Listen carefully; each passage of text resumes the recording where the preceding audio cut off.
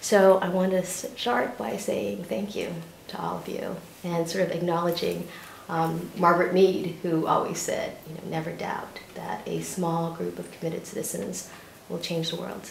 Indeed, it is the only thing that ever has. And I truly um, am really honored to work with this core group here because you are changing the world.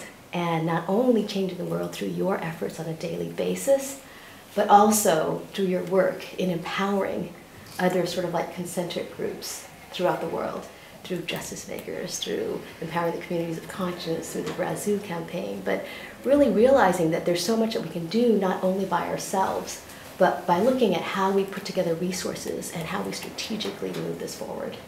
And as you all know, because we've talked about this a million times, but the way IBJ really was founded was um, with my first coming into contact with this 12-year-old boy in prison in Cambodia. He had been tortured and denied access to counsel.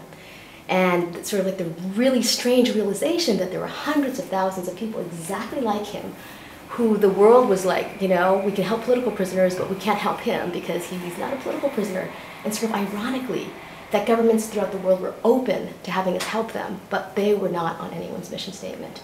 So it sort of began with this hope, but really it was a complete, um, how do I say it, like a hypothesis that the rest of the world would agree with it, that governments would be open. You know, we didn't know. We thought, well, for sure Cambodia, but where else would they be open?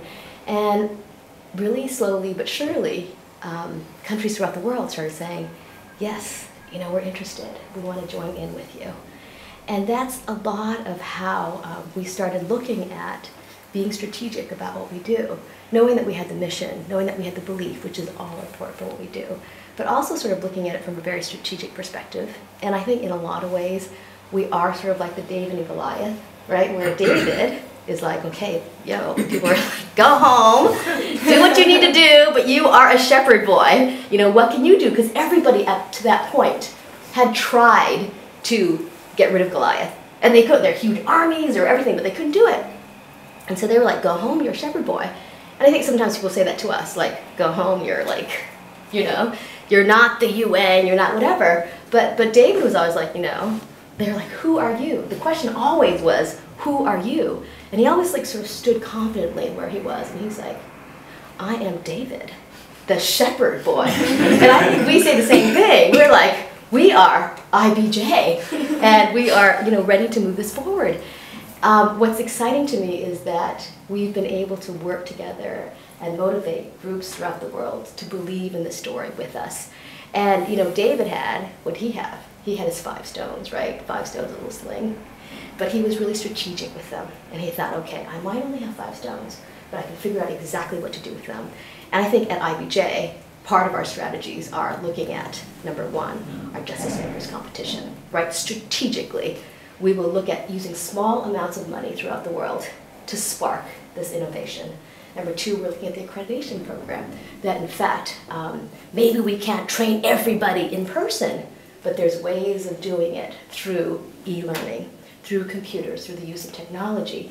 Um, looking at sort of influencing the entire picture through like our index or pieces, like how do we motivate other people, like governments and everybody else, to use not just you know the, the stick approach, but maybe the carrot approach, or maybe not just the carrot, but also the stick. Um, our in-country programs are also sort of our bread and butter for what we do every day on a daily basis to make it happen.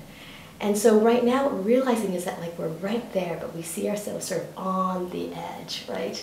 Realizing too, sort of like with a tipping point, that it's not only that we have these individual pieces in place, but everything influences everything because the world is interconnected.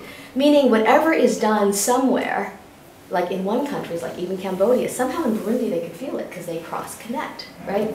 And as we get more and more people through every corner of the world working on this, it builds itself as a world movement. And what's exciting for us is that we've begun to see, just through the years, like small groups getting bigger and bigger and bigger. It's like IBJ is just growing. I mean, even our, we complain about our database, but the only reason we complain about it is because it's really getting bigger and we don't know how to manage it and it's like it's all over the place. But we are finding that we have greater and greater support throughout the world, in every corner of the world. So as we move this forward, one of the ways that we're looking at this is in celebration of International Human Rights Day because we believe that our work is so relevant. um, not just in terms of ending torture for a few people, for some political prisoners, for the privileged, whatnot, but also for every single person, every man, every woman, every child in the world. We look at this in terms of celebration, in terms of the work that we do, in terms of the hope that this is really possible. And so, with our Razoo campaign, um, we are just grateful that every single person who's connected to IBJ is standing up and being able to do whatever it is.